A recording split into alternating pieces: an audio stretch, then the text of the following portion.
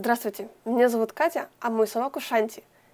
Иногда бывает так, что у вас нет возможности устраивать полноценные прогулки, которые дают нужную нагрузку собаке. Причин тому может быть несколько. Болезнь, загруженность другими делами, плохая погода. У нас в Питере недавно вообще негде было заниматься на улице из-за того, что сначала выпало много снега, потом он растаял, а потом ударили небольшие морозы, и все пространство, где мы раньше могли позаниматься – превратилась в ледяные поля. Ходить без риска упасть можно было только по асфальту. Но гонять собаку по асфальту нельзя. Это вредно для лапок. Тем не менее, залить мозг собаки чем-то не помешает. И для этого можно выдумать немало всяких упражнений. Одно из таких упражнений – это тренировка ассоциативной памяти. Суть заключается в том, чтобы брать несколько пар предметов – один из каждой пары выкладывать перед собакой, а второй показывать по одному. Потом прятать и говорить собаке так или иначе обозначить, что за предмет ей только что показывали. Первый этап данной тренировки – это в принципе научить собаку смотреть на предмет. Усаживайте собаку для удобства, берете любой предмет и каким-либо образом побуждаете собаку посмотреть на него.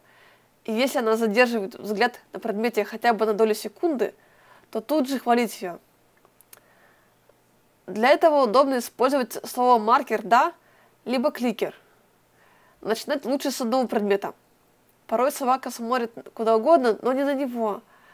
Чтобы привлечь внимание собаки, можно подвигать предметом перед ее мордой, например. Потом вы кладете предмет на пол и указываете на него. Постепенно можно переходить к двум-трем предметам.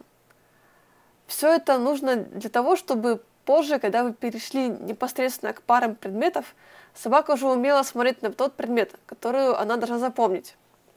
Как именно должен происходить переход от просто фокусировки взгляда на предмете к работе с парой предметов, я, честно говоря, уже не помню. Долго об этом думала, но так и не вспомнила. Шанти, в принципе, имеет привычку угадывать и предлагать что-то свое порой. Возможно, в какой-то момент она просто угадала – что от нее требуется, и я этим воспользовалась и похвалила ее.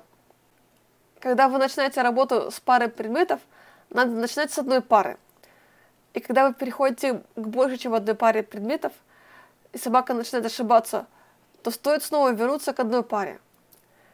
Еще я всячески экспериментировала с тем, каким жестом Шанти должна была обозначать второй предмет из пары.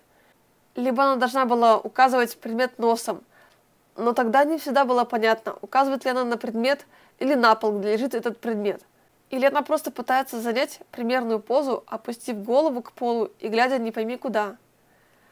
Тогда я решила использовать трюк «трогай». Но порой она случайно откидывала предметы лапой, и я тратила время на то, чтобы возвращать их обратно. Так что в итоге я просто остановилась на команде «возьми». Напоследок скажу, что несмотря на кажущуюся простоту, этот трюк достаточно сложный для исполнения – и собака достаточно быстро устает, теряет интерес и хочет уйти от него.